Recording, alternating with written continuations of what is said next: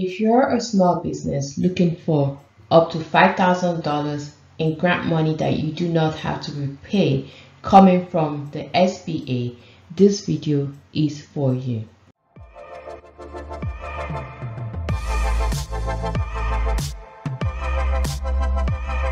This is Business Media TV. My name is Mimi, the Business Advisor. On this channel, we advise business owners on how to start, grow, and sustain their businesses. We give tips on online marketing and we encourage personal empowerment by giving personal development speeches. If you are new to this channel, please consider liking this video and subscribing to our channel. Let's just go straight into today's video. So this is the SBA website and like it says a supplemental targeted advance. It provides the smallest and hardest hit eligible businesses with a supplemental payment of $5,000 that does not have to be repaid, even if you have previously received the original EIDL advance in the full amount of $10,000. This is key here. So you may be eligible for the supplemental advance if you meet the eligibility criteria, which we're going to discuss shortly.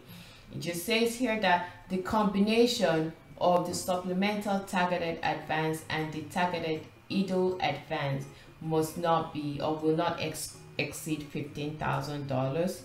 So that's the maximum you can get under um, the combined programs. You have to complete the targeted EIDL advance application to be considered for the supplemental targeted advance. Okay, and uh, SBA will be reaching out, I started reaching out actually to those who may qualify. And before applying, make sure your business meets all the eligibility criteria. So we're just going to go into the eligibility. Okay, so number one, your business has to be located in a low income community. We'll just click here to see what we can find out about the low income community. Just waiting for this to show up. It shows these are all the communities really. So let's just say for an example, let's click this um, area in Colorado. You know, based on the census, it shows you, you know, that it is a low income community and it shows the poverty rate and all that stuff. So before you apply for this, um, just most certainly, you know your area, you put your address here and then um, it will show you whether you're in that community or not. So um, this tool is available for you and we will drop the link in our show notes so you can get a link directly to to the link. So these are all the various areas different states. So um, find out if your state um, or if your community is in one of those areas. So that's the first part of the eligibility criteria.